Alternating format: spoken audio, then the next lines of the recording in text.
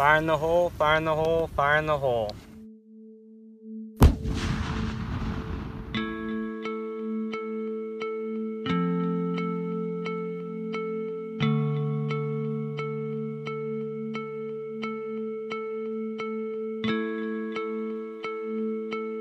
We are explosive ordnance disposal technicians.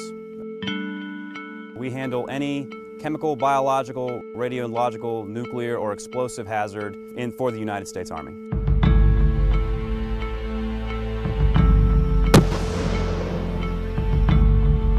It's a very technically challenging job, uh, and it's, it's very dangerous.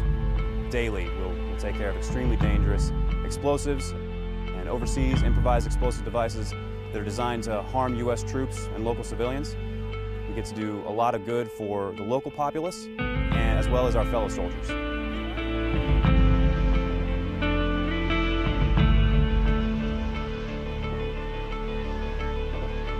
So I think in respect to readiness, the uh, competitions that we hold all the time, uh, these team of the year competitions, competitions we do within our companies, it helps, you know, it helps readiness by evaluating where our shortcomings are with our team leaders and our team members.